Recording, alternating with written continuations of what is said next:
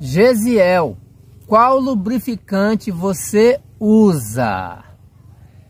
Meu amigo, eu gosto de usar... Gente, ele não usa lubrificante nenhum. Ei, Selma.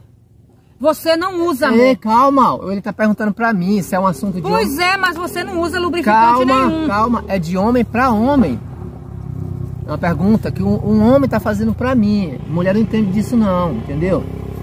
Meu amigo, eu gosto muito... Gente, ele não usa não, só se for em outra mulher. Porque em mim, ele só usa cuspe. Selma, cara, eu olha, eu uso Mobil, eu uso Lubrax, que conserva mais o motor, entendeu? Quem, quem, quem, quem tem carro, tem moto, sabe disso. Eu, é o que eu gosto de usar. Hum, amor, como é que tu fala demais, Selma? Mas tu também não explicou. Se tivesse explicado... Mas, rapaz, o cara tá perguntando pra mim, mas não é pra ti. Entendeu? Ô, oh, mulherzinha da língua grande. Vou te falar. Por que tu não explicou, amor? Mas eu tô explicando. O cara perguntou pra mim qual lubrificante que eu uso. Eu vou responder e tu vem dizer... Olha, olha o que tu falou, Selma.